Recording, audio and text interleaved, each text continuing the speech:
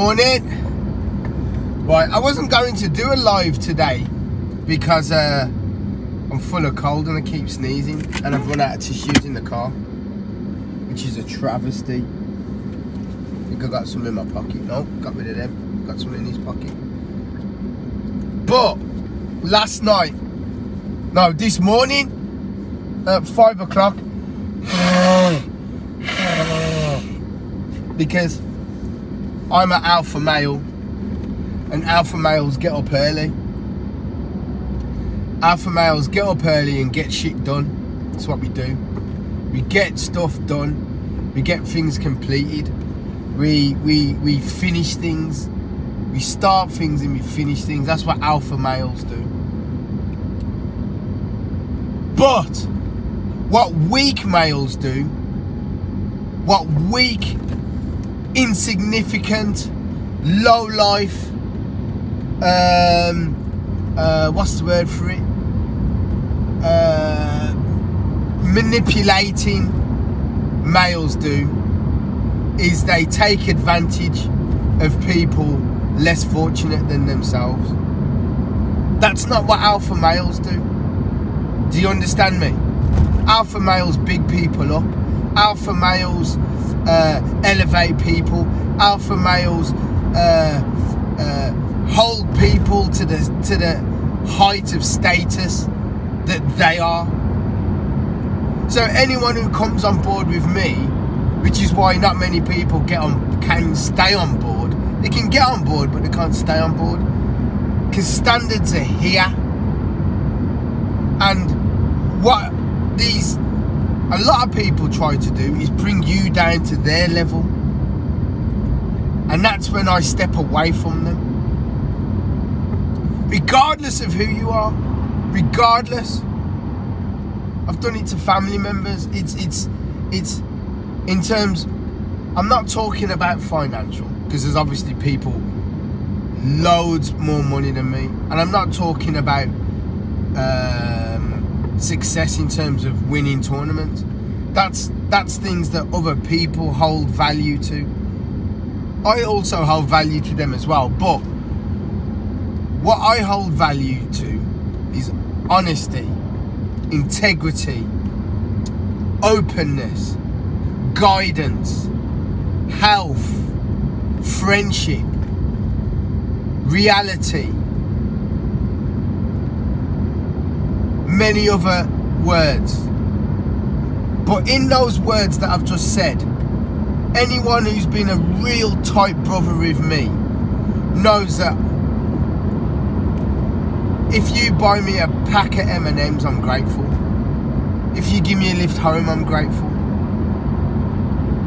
And I would do the same. And I do do the same. And any of my friends as long as it's something that I can do like a friend of mine phoned me up and he said oh can you get me tickets to this game? I no longer have that power to get the tickets. Now I may have some friends who might be able to do me a solid and get some tickets but that isn't always guaranteed. So I can't say yes I can get those tickets. Now when those tickets come along yeah I will invite friends and family. That's how it works. But I cannot just straightforward get tickets so what I mean is if it's in my power I will do it. Because that's what friendship is that's what that's what being um, tight with a brother is or a sister. Now when I say honesty what I mean is if I don't want to do it or I cannot do it I am honest about the reason why so I'll give you an example my sister wanted to borrow some money or lend some money, whatever the term is. Now, I know my sister. Whatever money goes from my hands to my sister's hands will never be seen again. This was a long time ago, by the way. this was a long time ago, by the way. The answer is no. I'd never see it again. Never. At the time. Honesty And I watched a video this morning about Fiona Ferro's case. That, um, you know, and I always wondered when I first saw Fiona Ferro play, I always wondered why there was this big gap of seeing her as a junior and then not seeing her until she's like 22, 23, however old she is. And she played some brilliant tennis at the French Open a couple of years ago, or what, a year ago, whenever it was, when I first saw her. And I was like, this girl, look at her ability. Where's this girl come from?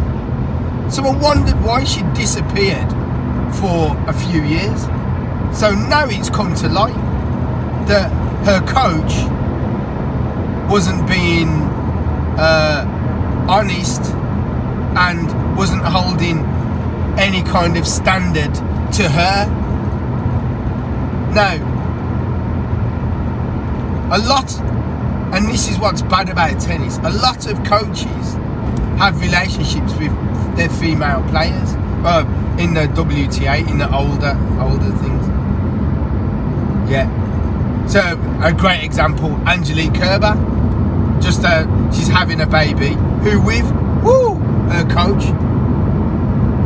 Yeah. It's it's it's it's it's uh, various other people have done the same. I can't think of any more at the moment. But I think Alizé Cornet dated her coach at one point. Radek Stepanek had about five or six. Petra Kvitova one being one of them. Uh, girlfriends who he coached, stroke hit with. Uh, so, and it kind of makes sense because it's quite a close relationship between coach and player.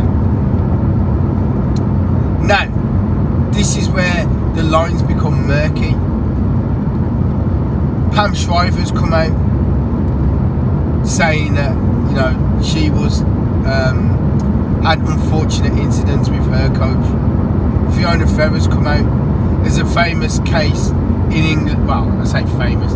There's a infamous case in England where a coach went to um, Florida with a player with the knowledge of the parents. Obviously, the parents paid for the coach to go with her, and while uh, they were on uh, supposedly playing the Orange Bowl or whatever they were doing, they were having physical relationships. No.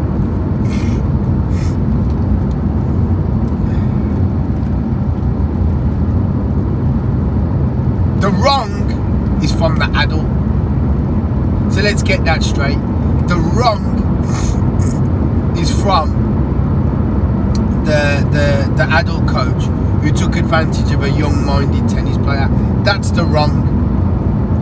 That 100% is the wrong. Now, let me give you another scenario.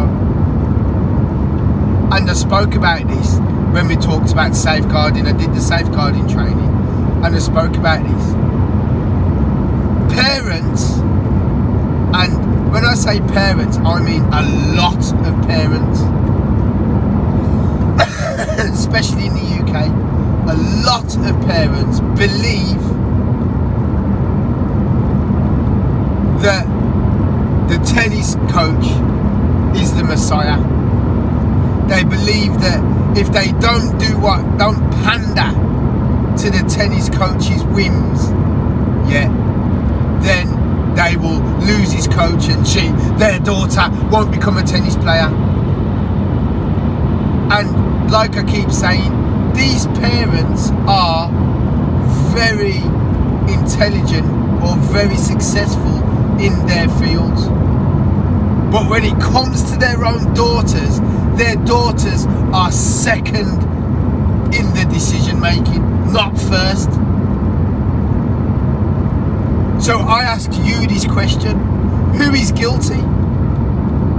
The parent or the child? Who's guilty?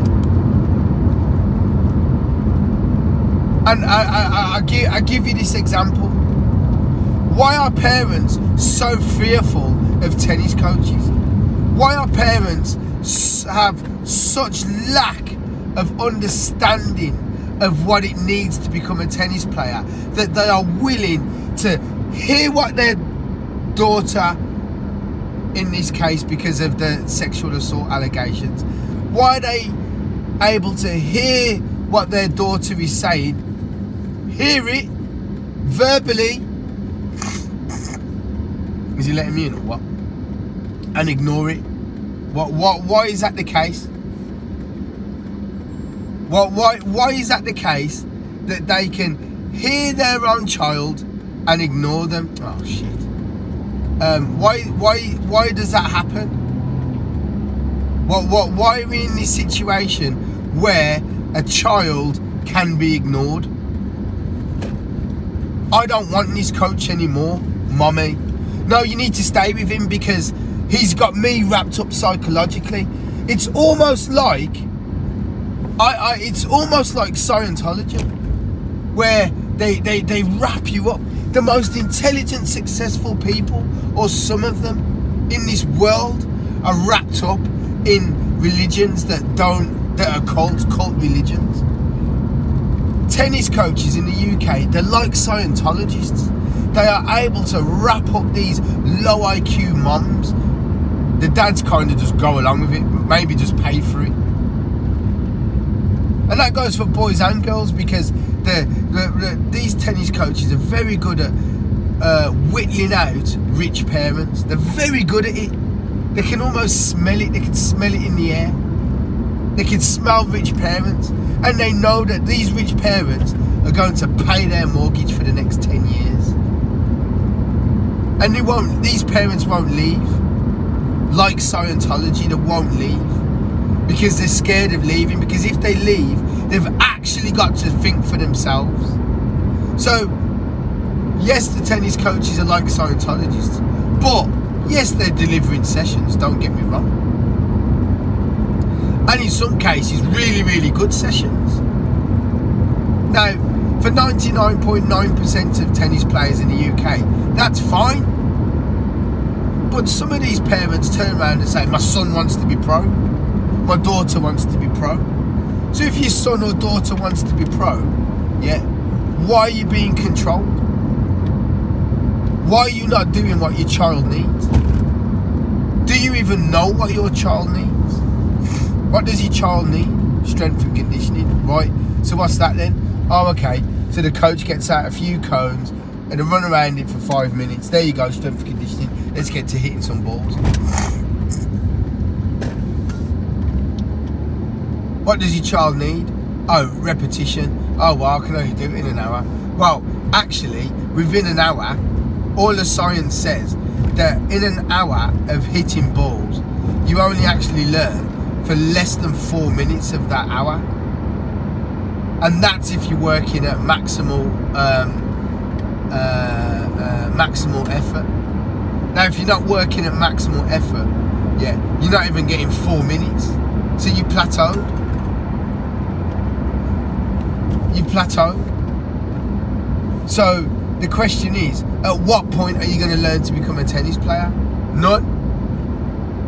None that's why uh, you know girls with the richest parents aren't necessarily the best tennis players?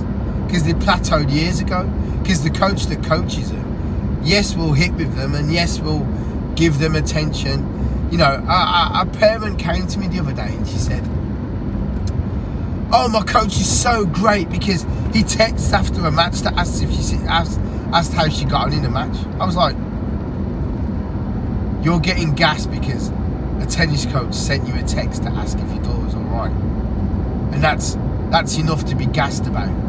That's enough to jump for joy.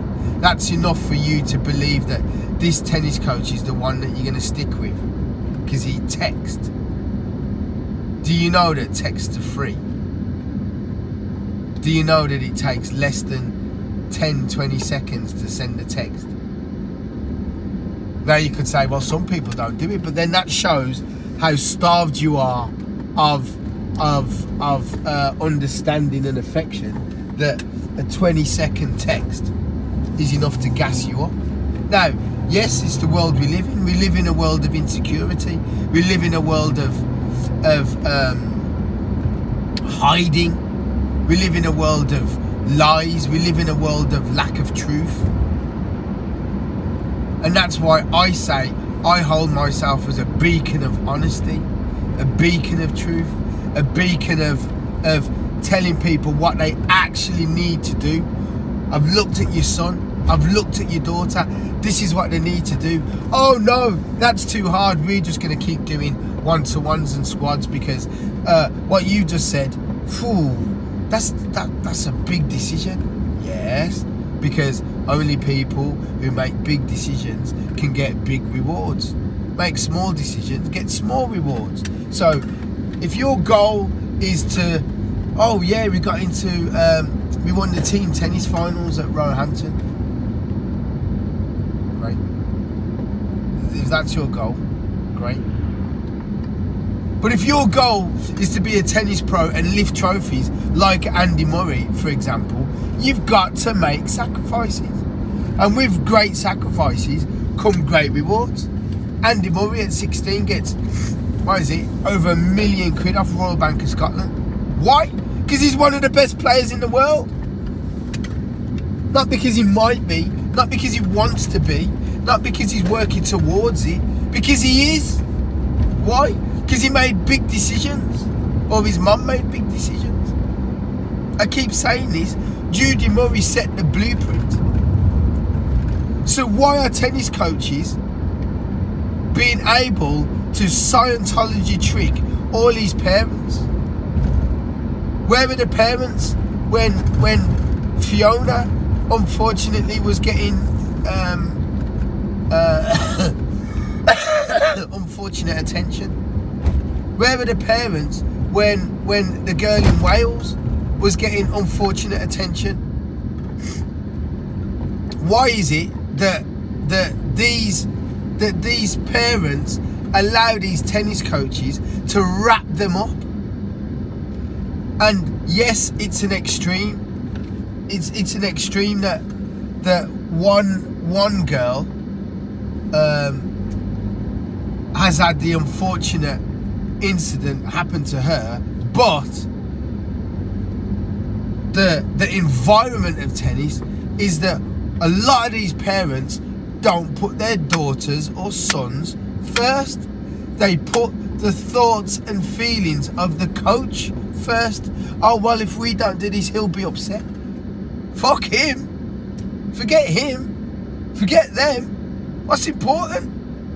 At no point have I have I ever put um, have I ever put um, a coach before my daughter. Never. If you want to kick us out of the squad, kick us out of the squad. If you don't want us in your, you gonna let me go. You let me go. Thank you. Are you get eh, if if you're um if you're gonna drop us or not coach us anymore, fine. I'm fine with that. We'll find somewhere else. We'll find another way. We'll find another way. There's never, never a, a, a time or incident when I will put my flesh and blood behind someone else. And parents need to learn this because it, it's it, it's it's it's mind blowing that a parent will put the thoughts and feelings of a coach before their child. Because if parents put their children first, a lot of these incidents wouldn't happen because you've cut it off at the source. You've you've you've you've you've stopped it at source. But I'm going to talk more about this because I haven't even touched on the actual incident of Fiona, which I find really, really sad and emotional. So, listen, guys, I need to get in and get some tissue and blow my nose. So, make sure you like and subscribe and I will um, do a video later. Cheers, guys. Bye.